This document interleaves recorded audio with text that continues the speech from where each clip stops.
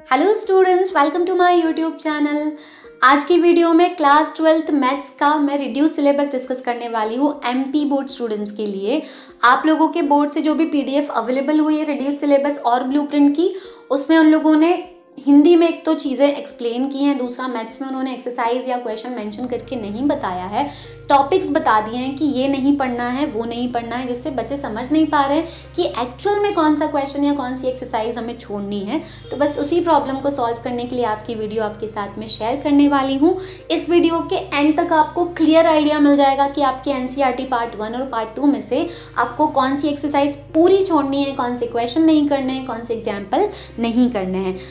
आगे की वीडियो में जो भी आपको रेफरेंस के लिए मैं नंबर बताऊँगी, वो एनसीईआरटी बुक से ही मैंने लिए हैं। आरबी त्रिपाठी वाले नहीं हैं तो अगर आप एनसीईआरटी से पढ़ रहे हैं तो ये वीडियो आपके लिए बहुत ज़्यादा यूजफुल होने वाली है।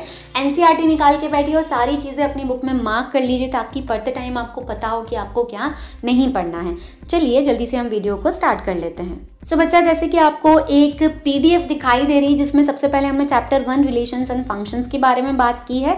इसमें आपकी एक्सरसाइज 1.3, 1.4 पूरी पूरी डिलीट हो गई है और उन्हीं दोनों एक्सरसाइज से रिलेटेड जितने भी एग्जाम्पल्स थे वो भी डिलीट हो गए जिसमें 15 से लेकर 40, 45, 49 और 50 एग्ज़ाम्पल आते हैं। और इन्हीं दोनों टॉपिक से जो मिसलेनियस एक्सरसाइज में क्वेश्चन थे वो भी आपको स्क्रीन पर दिखाई दे रहे हैं।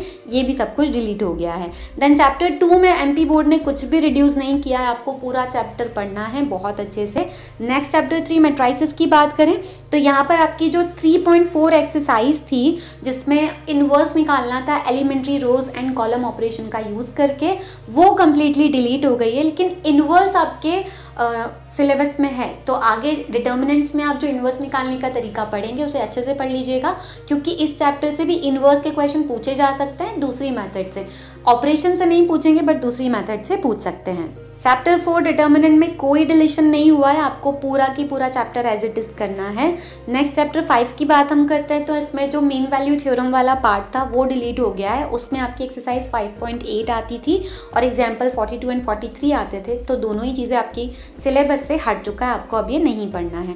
Then chapter six application of derivatives की हम बात करें तो इसमें से आपका टेंजेंट और स्लोप वाला या नॉर्मल वाला जो टॉपिक था, वो हट गया है, जिसके अंडर आपकी एक्सरसाइज सिक्स आती थी तो वो पूरी गई। फिर अप्रॉक्सीमेशंस वाला टॉपिक भी गया, जिसमें 6.4 एक्सरसाइज थी, वो भी गई। और जो भी इन दोनों टॉपिक से रिलेटेड एग्ज़ाम्पल थे और मिसलिनियस एक्सरसाइज में क्वेश्चन थे, वो भी आपको स्क्रीन पर दिखाई दे रहे हैं। नेक्स्ट चैप्टर सेवन इंटीग्रल्स की बात करें तो इसमें से आपकी जो लिमिट ऑफ़ सम वाली एक्सरसाइज थी जो कि 7.8 है, वो पूरी डिलीट हो गई है और उसी एक्सरसाइज के दो क्वेश्चन एग्ज़ाम्पल में थे 25 एग्ज़ाम्पल 26 एग्ज़ाम्पल ये भी हट चुका है और मिसलिनियस एक्सरसाइज से क्वेश्चन नंबर 40 गया है।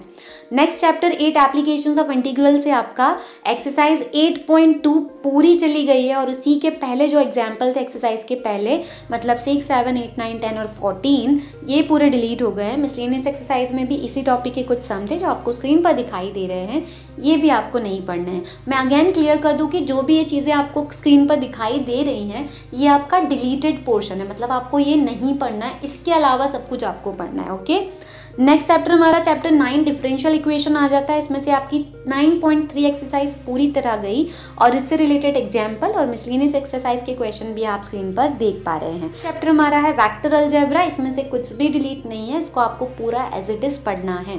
अगला हमारा चैप्टर है इलेवन थ्री डायमेंशनल ज्योमेट्री इसमें आपका इलेवन पॉइंट थ्री वाली जो पूरी एक्सरसाइज थी वो कम्प्लीटली गई. प्लेन वाला जो पार्ट था जिसमें प्लेन आ गया था, वो सब कुछ डिलीट हो गया है. तो उसमें एग्ज़ाम्पल मिसलिनियस एक्सरसाइज कौन कौन सी आ रही है, आपको स्क्रीन पर दिखाई दे रहा होगा. चैप्टर टेल एल में से आपका जो वर्ड प्रॉब्लम वाली एक्सरसाइज थी मतलब एक्सरसाइज 12.2 वो पूरा डिलीट हो गया है. मतलब आपको एक भी वर्ड प्रॉब्लम नहीं करना है. नॉर्मल लिनियर इनक्वालिटीज़ वाला जो पार्ट है, वो आपको करना है.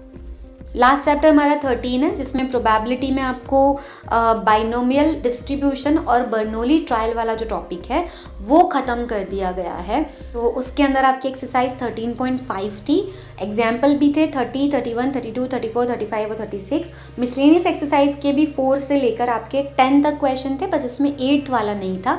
एट्थ करना है आपको बाकी फोर से टेन तक सारे मिसलेनियस एक्सरसाइज के क्वेश्चन आपको छोड़ देने हैं। आई होप आपको वीडियो में समझ आ गया होगा कि मैथ्स में आपको एन से क्या पढ़ना है और क्या नहीं पढ़ना है। मैंने ट्राई किया है कि वीडियो बहुत छोटी हो ताकि आपका टाइम वेस्ट ना हो। ये जो पीडीएफ आपको स्क्रीन पर दिखाई दे रही है, इसका डाउनलोड लिंक आपको डिस्क्रिप्शन बॉक्स में मिल जाएगा। आप वहाँ से जाकर ये पीडीएफ डाउनलोड कर सकते हैं। अगला मुझे कौन से सब्जेक्ट का रिड्यूस सिलेबस डिस्कस करना चाहिए? कॉमेंट बॉक्स में ज़रूर लिखिएगा।